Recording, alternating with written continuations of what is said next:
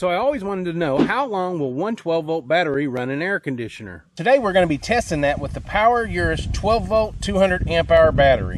We're going to be running a 5000 BTU air conditioner powered by a simple inverter. Is it going to be better than buying one of these power stations? We're about to find out.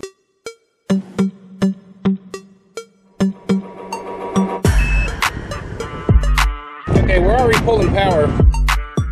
I fully charged this Power Urus 200 amp hour battery before doing this test. When charging this battery, I charged it at 14.6 volts. It can take a charge up to 100 amp current, but we don't recommend it. The discharge current can be up to 200 amps. That's almost what a golf cart would pull. All of this equipment was made in China, so let's see how it all works out. We got this little clock slash temperature gauge. We'll go ahead and set it on top of the battery here and leave it here while we run the test. Okay, we're gonna go ahead and get the inverter hooked up. We'll just be using a simple DeWalt 1000 watt inverter.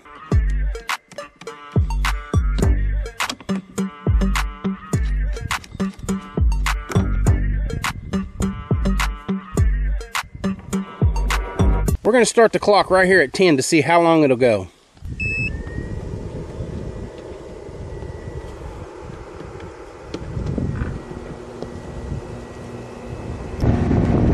Okay, we're already pulling power. All right, the compressor's already kicked in. We're blowing cold air. The inverter shows it's pulling 467 watts. We're currently sitting at 13.2 volts. We're just three minutes in.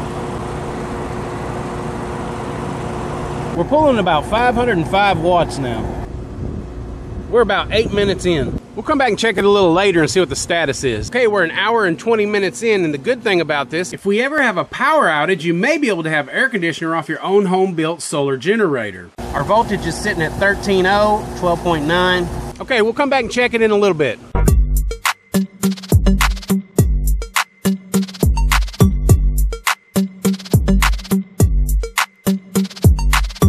Okay, guys, we're right at two hours. So let's go over here and check it out and see how it's doing. All right, 1201, been two hours. Sitting right at 12.9 volts. All right, this battery is chugging right along. I'm pretty happy with this deal. We'll come back and check it here in a little bit.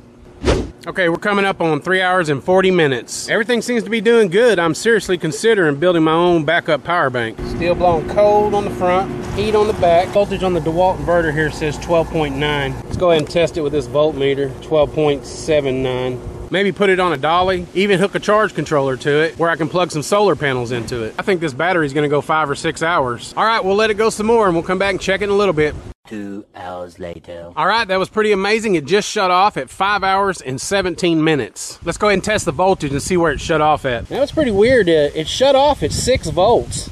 I've unplugged the uh, air conditioner and at this point the inverter won't even come on. Well, 5 hours and 15 minutes, that's not bad. It pulled a continuous 500 watts that whole time. I'd be interested in testing a refrigerator or even a TV and internet. Okay, we're not getting any volts off this battery now, so when you run one of these lithium batteries down to a certain point, the battery management system shuts the battery completely off. Okay, here's another 12 volt battery. We're basically just going to run the positive to the positive and the negative to the negative.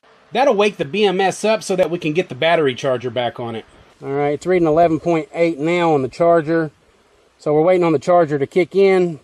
As soon as the smart charger kicks in, I should be able to let the uh, wires off of the battery here. Okay, there it is. It just kicked in.